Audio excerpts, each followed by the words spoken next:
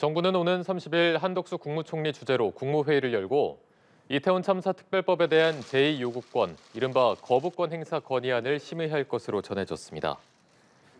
정부 관계자는 연합뉴스TV와의 통화에서 이태원 특별법이 현재로선 정례 국무회의에 상정될 것이라고 말했습니다.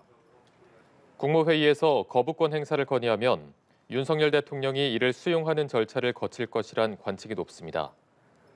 민주당 박성준 대변인은 논평을 내고 국민은 이태원 특별법에 대한 거부권 행사를 용납하지 않는다며 특별법 수용을 촉구했습니다.